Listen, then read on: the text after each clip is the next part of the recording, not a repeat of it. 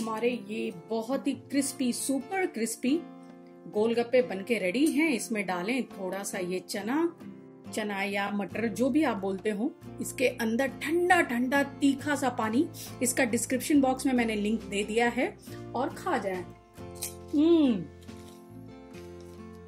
Lockdown का समय है। कम चीज़ों में हम घर बैठे गोलगप्पे कैसे बना सकते हैं? आइए देखते हैं हम सूजी के गोलगप्पे कैसे आसानी से बनाते हैं। गोलगप्पे बनाने के लिए चाहिए। हमें ये सूजी मैंने लिया है यहाँ पे एक कटोरी। चार टेबल स्पून मैंने लिया है आटा। आप मैदा भी ले सकते हैं और गेहूँ का आटा भी ले सकते हैं। और यहाँ पे चाहिए होगा हमें एक ग्लास पानी। मैंने यहाँ ये ल्यूक वॉर्म यानी कि गुनगुना पानी लिया है। एक बोल लेंगे और उसके अंदर हम डालेंगे ये सूजी।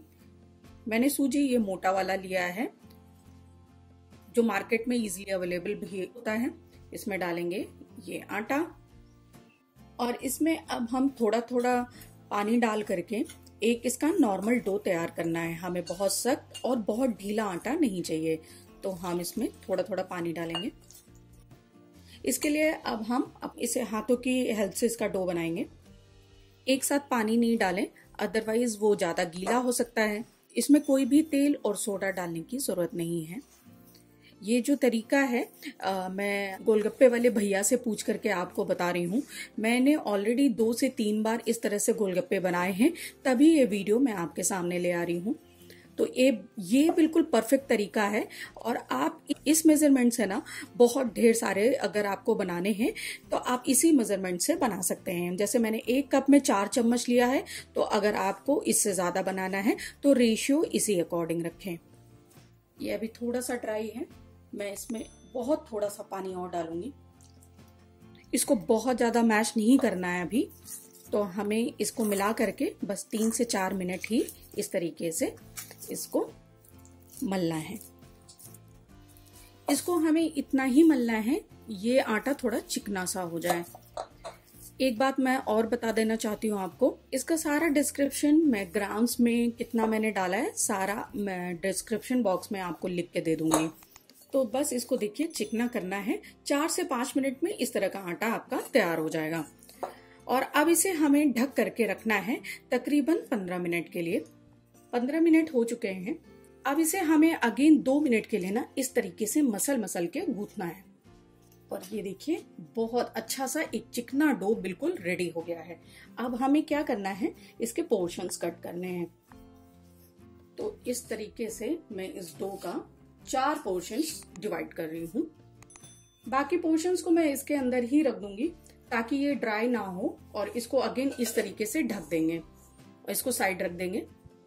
अब इसको हम इस तरीके से गोल कर लेंगे। आप चाहे तो थोड़ा आटा लगा करके इसको आप बेल लें। इसे हमें काफ़ी पतला बेलना है। और ये देखिए, इसकी मोटाई इस तरीके से बस बहुत ही कम है।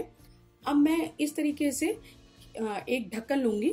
आप कुकी कटर भी ले सकते हैं और इस तरीके से दबा करके ना प्रेस करके आप सारे शेप्स निकाल लें। और ये जो एक्स्ट्रा वाला है ना इसको हम निकाल लेंगे। इस तरीके से। और इसका अगेन बॉल बना करके आप रोटी बनाएँगे और इसी तरीके से कट कर लेंगे। अब आइए इसके आगे का प्रोसेस देखते हैं। अब एक मैंने इस तरीके का आ, कपड़ा ले लिया है और थोड़ा सा गीला किया है बहुत थोड़ा सा। अब हमें करना क्या है? कि इस तरीके से उठा करके ना इस कपड़े के ऊपर डालना है। तो हम सारे ये अपनी पूरियाँ जो है, इस तरीके से डालेंगे।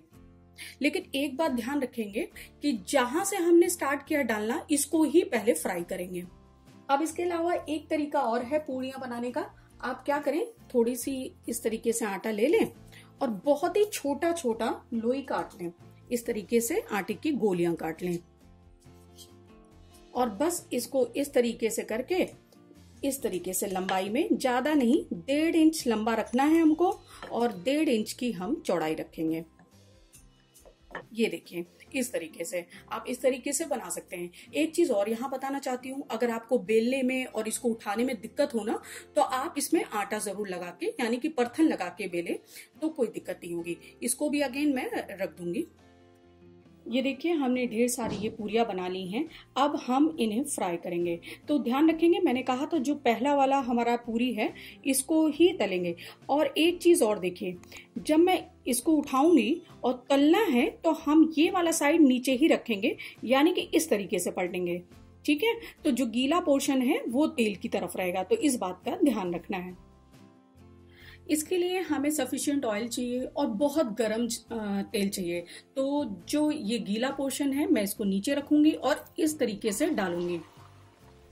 आप ज़रूरी नहीं कि आप एक साथ सारी पूरियाँ तल लें और इसके ऊपर इस तरीके से ऑयल डालें। वाव लुक एट गाइस आप ये देख रहे होंगे कितनी बढ़िया ये पूरी फूली है। और इस तरीके से इसके ऊपर ऑयल डालें। और इसी तरीके से हम ये सेकेंड पूरी, जो कि गीला पोर्शन है, मैं नीचे रखूँगी और इसको डालूँगी। तो आप एक बार में जितना आसानी से बना पाए, आप उतना ही डालें। इसको फ्लिप कर दें या इसके ऊपर भी ऑयल डालें इस तरीके से। और गाइज़ ये देखिए, आपके सामने मैंने ये दो तरह की पूड़ियाँ बनाई थी, एक थोड़ा सा लंबा और ये थोड़ा सा गोल वाला, बन के रेडी है। गरम तेल है और ये फटाफट मैंने डाली अपनी ये पूड़ियाँ। ध्यान रहे, अगर कोई नहीं भी फूलता है ना तो वो पापड़ी के काम आ जाता है। आप ये देखिए, कितना परफेक्ट रेसिपी है। आप ये देख रहे होंगे कि ये फटाफट हमारी पूरियाँ जो है, फूल गई सारी। है ना? तो आप नलिनी किचन फटाफट जिन्होंने सब्सक्राइब नहीं किया है, वो कर ले। तेज आँच होना चाहिए, बस ये ध्यान रखें।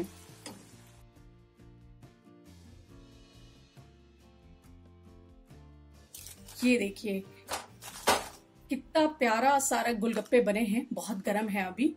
और इस तरीके से मैंने सारे गोलगप्पे बना लिए। और ये हमारे ढेर सारे गोलगप्पे बन के रेडी हो गए हैं, आप देख रहे होंगे। अब है इसकी टेस्टिंग की तैयारी। आप ये सुन पा रहे होंगे कि ये बहुत ही क्रंची बना हुआ है। आप ये देखिए। या कोई और दूसरा भी उठा लेते हैं। ये देखिए। तो ध्यान रहेगा ना ये एक बात, जब भी आप इसे बनाए ना, गूथे नहीं ज़्यादा। आपको आटा ज़्यादा गूथना नहीं है अदरवाइज़ वो पूड़ी जैसा बन जाता है। तो इस बात का ज़रूर ध्यान रखें।